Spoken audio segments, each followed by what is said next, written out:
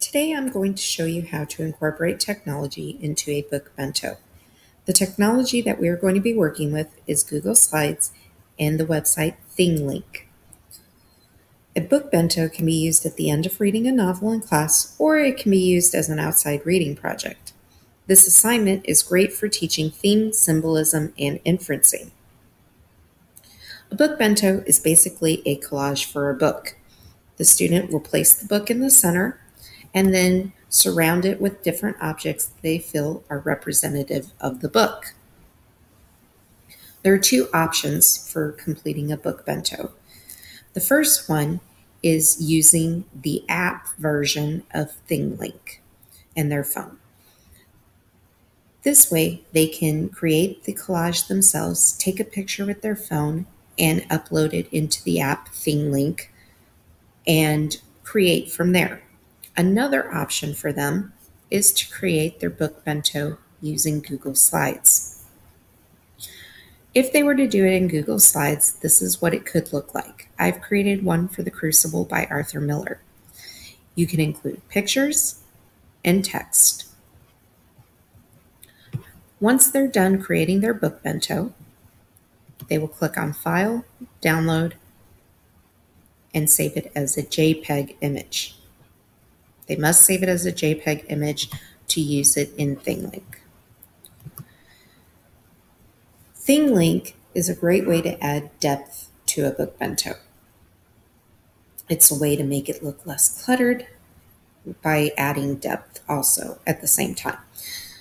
What they do is they take their book bento and they can add different tags to it.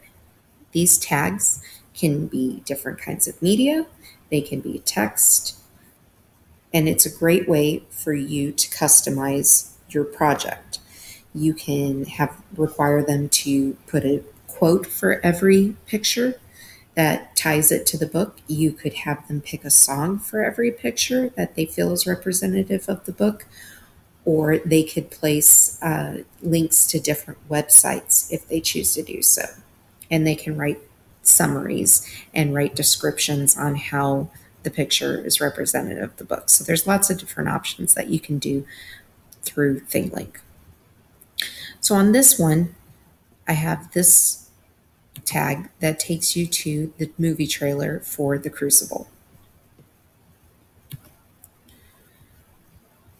Up here, we have a tag that has wording, and then another tag that has a quote for the book.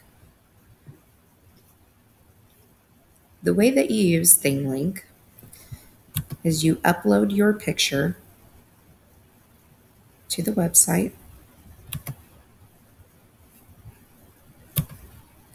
And you start adding your tags. Click on Add Tag. It pulls up your options. You can add text and media, you can add a text label, or you can add content from a website. I'm going to choose Add a Text Label. You can then change your icons to whatever you wish. I'm going to go ahead and pick a book. And I'm going to write a description.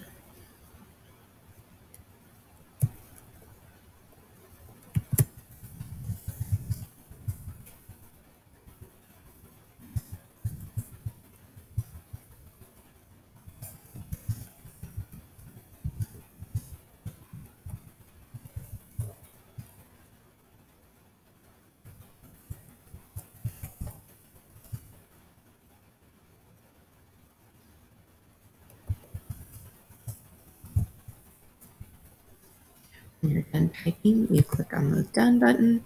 It puts the tag there in the center, and then you can drag it and place it wherever you wish on the on the picture. So I'm going to put it right there.